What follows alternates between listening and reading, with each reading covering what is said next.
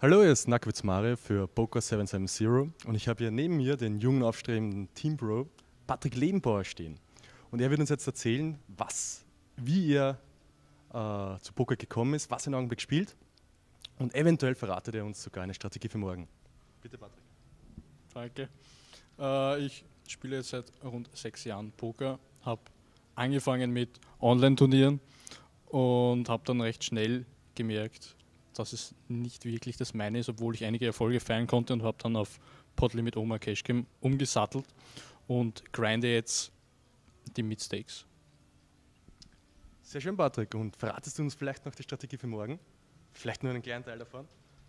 Ja, also ich werde in der Anfangsphase recht tight spielen und mir die Gegner anschauen und vielleicht einige Tails aufgreifen und werde dann mit den gewonnenen Informationen etwas adapten und äh, etwas Loser spielen. Okay, klingt sehr solide. Dann wünsche ich dir viel Glück für morgen und, und ja, ich hoffe, wir sehen uns am Final Table. Danke, das war's für Poker 770. Wiedersehen.